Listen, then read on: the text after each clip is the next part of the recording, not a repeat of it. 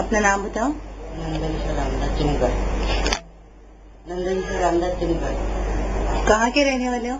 मायो बॉम्बे में कितने सालों से? हाँ, अभी आया कितने सालों एक महीना उम्र क्या है तुम्हारी? उम्र अठारह कितनी पढ़ाई की है? दस और ये कहाँ पर अभी काम कर रहे हो तुम? पूजा होटल क्या काम करते हो? हाँ, चाय के लिए। सिर्फ़ चाय देने का? हाँ, क्या ड्यूटी क्या है?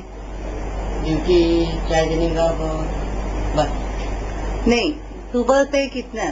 सुबह सुबह से नौ बजे से छह बजे और कितना पगार मिलता है? हाँ, तीन हज़ार। तीन हज़ार कभी छुट्टी रहती है क्या?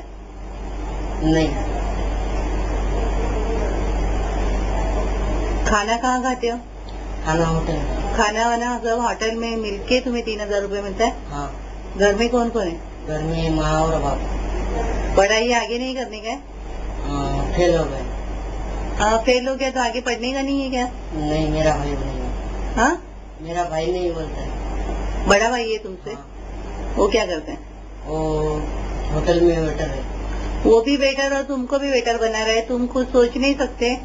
तुम्हें क्या करना है आगे? ज़िंदगी भर वेटर का ही काम करोगे? वो बोलता है ऐसा तुम्हें सोचना चाहिए ना अपनी ज़िंदगी के बारे में।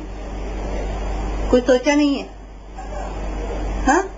ज़िंदगी भर वेटर रहोगे? आगे पढ़ोगे तो कुछ अच्छे बन सकते हो ना? हाँ। तो सोचोगे कि नहीं आगे? ठीक है।